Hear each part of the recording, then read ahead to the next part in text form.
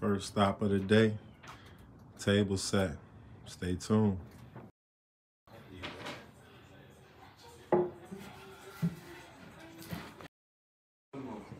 Yeah, definitely. Appreciate you guys. Yes, sir.